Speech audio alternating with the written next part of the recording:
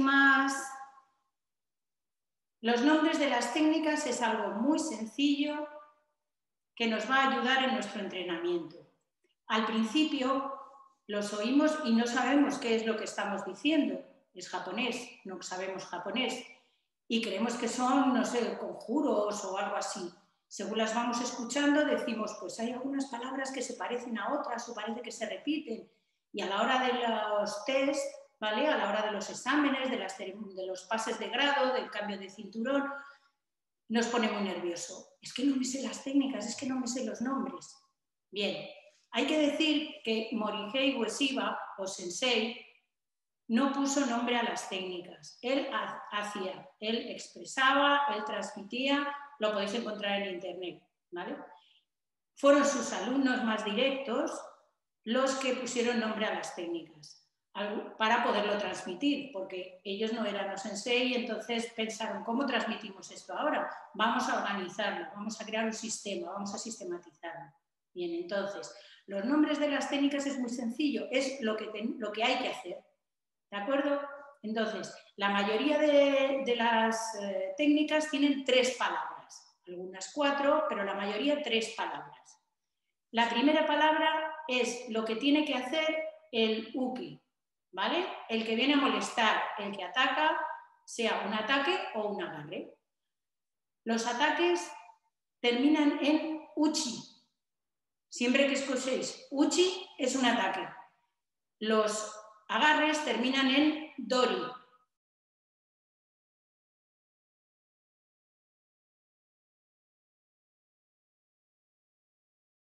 Siempre que escuchéis dori es un agarre. Bien, dori es agarrar en japonés, uchi es atacar en japonés. Así de sencillo.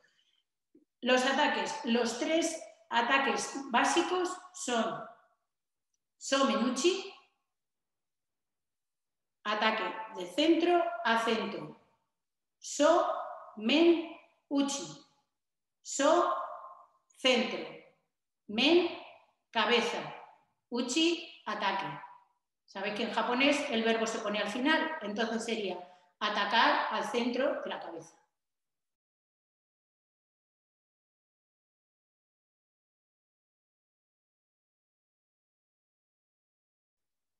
Bien, somenuchi. Yoko men uchi. Yoko es lado, lateral. Men vuelve a ser cabeza. Uchi vuelve a ser ataque. Entonces, yoko men uchi es atacar al lado de la cabeza.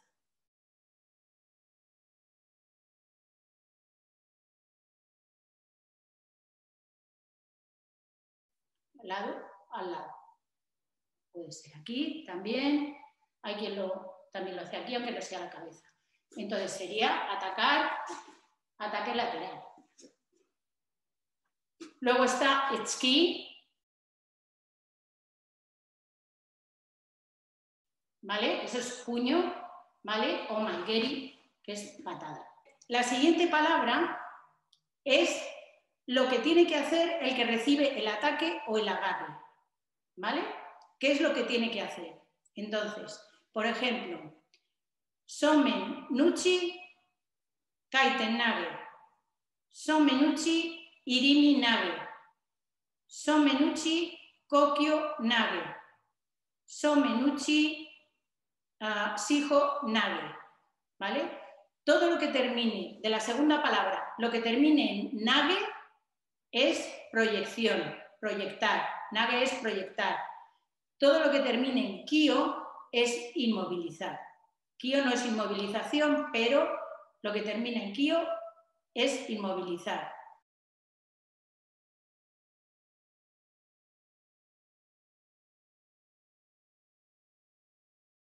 Las inmovilizaciones son muy sencillas porque hay cinco básicas y son primera inmovilización, ich, de i, de uno, ich, i, kyo, ni kyo, ni dos, san kyo, tres, san tres, John cuatro, John kyo, go kyo, go cinco. Entonces, las inmovilizaciones son muy sencillas. Ikio, Nikio, Sankyo, Yonkyo y Gokyo. Combinadas, por ejemplo, con los ataques, sería Somenuchi, Ikyo, Somenuchi, Nikyo o Yokomenuchi, Sankyo. Yokomenuchi, Sankyo. Atacar al lado de la cabeza y yo le hago la tercera inmovilización. ¿Vale? El Uke ataca al lado de la cabeza, el Tori hace la tercera inmovilización. ¿De acuerdo?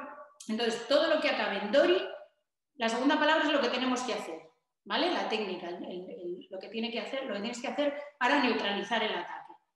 Si termina en Kio, es inmovilización. Si termina en Nage, es proyección. Irimi, Nage. Irimi es entrar, el verbo entrar, ¿vale? Entonces, Irimi, Nage es entrar y proyectar. Entonces, Somenuchi Iriminage sería atacar al centro de la cabeza y luego, ¿cómo lo resuelvo? Entrando y proyectando, ¿vale? O proyectar entrando, ¿de acuerdo? Eh, kokyo nage. Kokyo es respirar, respiración. Entonces, Yoko Menuchi, Kokyo nage ataco al lado de la cabeza y lo resuelvo, me atacan, me atacan al lado de la cabeza y lo resuelvo proyectando con la respiración. Así de sencillo. Investigar las demás técnicas, ¿vale? Investigar los nombres. Además ahora es muy fácil en cualquier traductor, ¿vale? Es muy sencillo, las podéis encontrar en internet. Después tenemos omote o ura. Al final de la palabra a veces decimos omote o ura, ¿vale? Omote es directo, por delante, omote es delante, ura es detrás.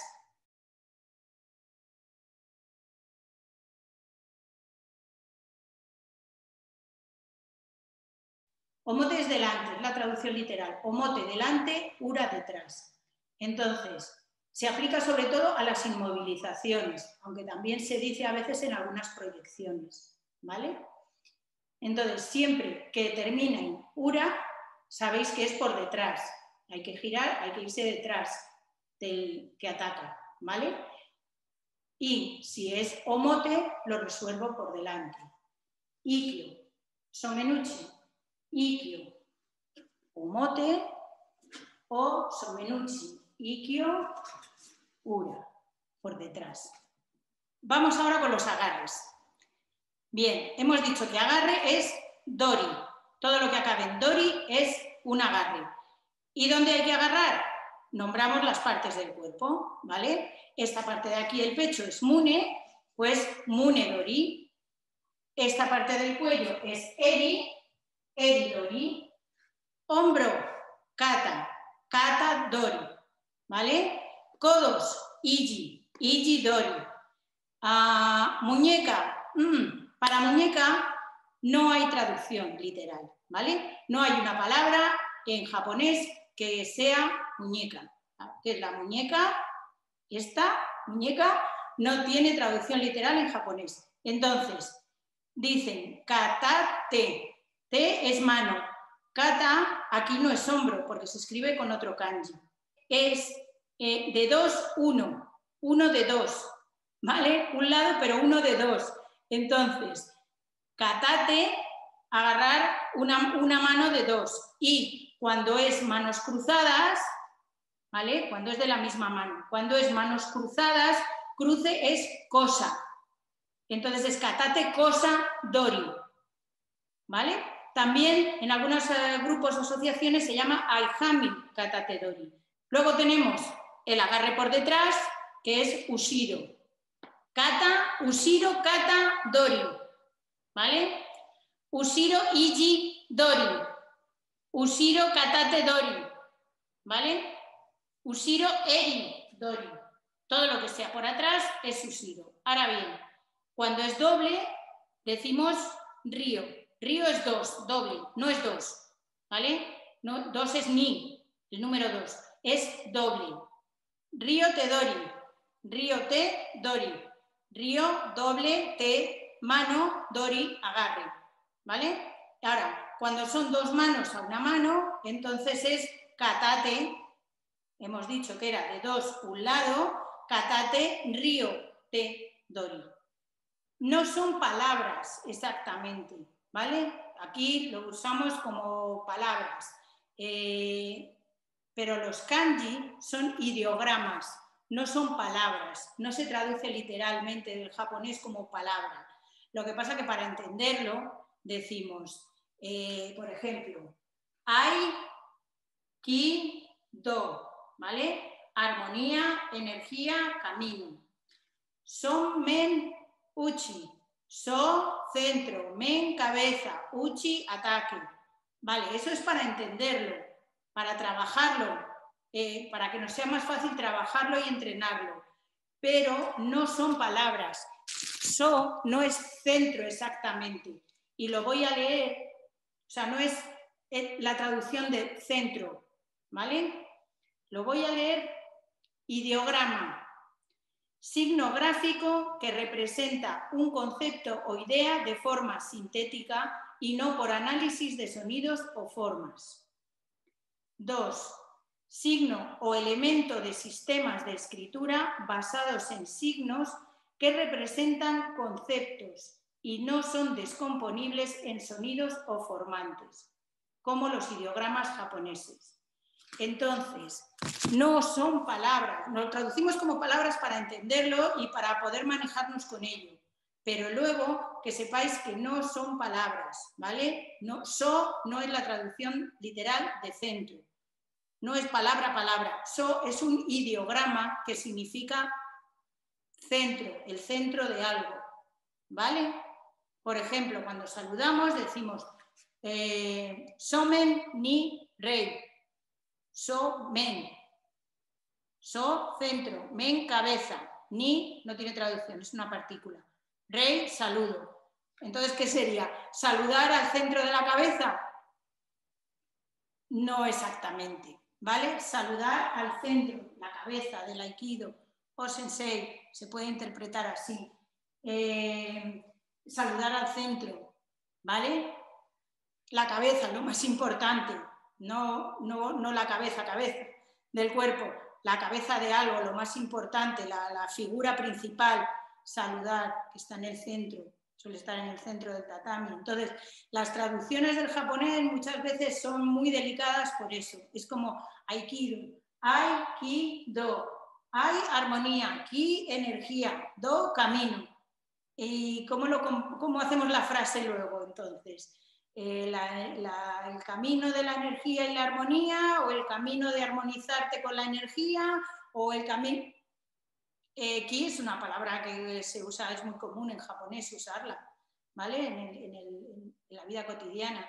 Entonces, no es exactamente la traducción literal de energía, y ahí no es exactamente la traducción literal de armonía, ni do para camino, ¿no? Cuando vas por el campo y vas andando por un camino, no vas andando por un do, ¿vale? Eso, eso sí que lo sabemos más, ¿no? Que es un, camino de vida, un, aprendizaje, ¿no?